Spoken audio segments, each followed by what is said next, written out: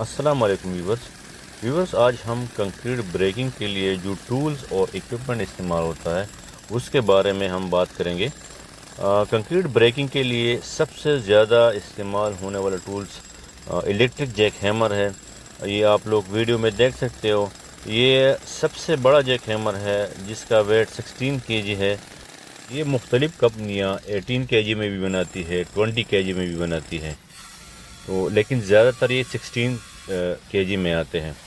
यहाँ पे अभी रिबार कटिंग हो रहा है।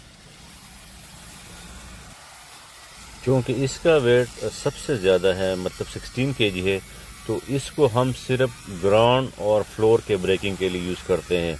वॉल के लिए हम मीडियम जेक हैमर यूज़ करते हैं। ये आप लोग वीडियो में देख सकते हो, जिसका वेट 12 से 14 केजी तक होता है। क्योंकि जेक हैमर हमारे पास तीन अकसाम के होते हैं। एक बड़ा वाला जो ग्राउंड और फ्लोर वगैरह के लिए हम यूज़ कर सकते हैं। दूसरा मीडियम होता है और एक सबसे छोटा होता है। जो मीडियम और सबसे छोटा है, उसको हम दीवार और रूप के लिए यूज़ करते हैं। एक्चुअली हमें कंक्रीट ब्रेकिंग के लिए जो टूल्स और इक्विपमेंट इस्तेमाल करना है दो चीज़ों को देख के इस्तेमाल करना है। वो एक है कंक्रीट की स्ट्रेंथ कि वो कितनी स्ट्रेंथ की है। अगर ज़्यादा हार्ड है तो उसके लिए हम एयर कंप्रेसर यूज़ करते हैं। ये आप लोग देख सकते हो। एयर कंप्रेसर के लिए जो जैक हैमर हम यूज़ करते हैं, उसका वेट 15 केजी से लेकर 40 केजी तक होता है।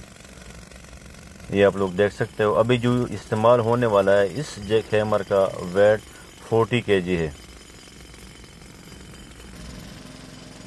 और ये इसका कंप्रेसर है जो जैक को हवा देता है। उसी हवा की प्रेशर की वजह से हम कंक्रीट ब्रेकिंग करते हैं। ये आप लोग देख सकते हो। एयर कंप्रेसर हम तब यूज़ करते हैं जब हमारे पास क्वांटिटी थोड़ी हो और कंक्रीट हार्ड हो। जब क्वांटिटी ज़्यादा हो हमारे पास तो फिर तो फिर हम बैग को यूज़ करते हैं। ये आप लोग देख सकते हो। क्योंकि यहाँ पे हमारे पास क्वांटिटी ज़्यादा थी तो इस वजह से हम बैग को यूज़ कर रहे हैं।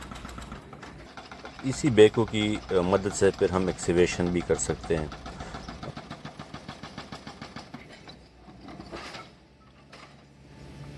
तो अभी मैं आप लोगों को दोबारा बताना चाहता हूँ, अगर कंक्रीट की क्वांटिटी हमारे पास कम हो तो फिर हम इलेक्ट्रिक जैक हैमर यूज़ करते हैं।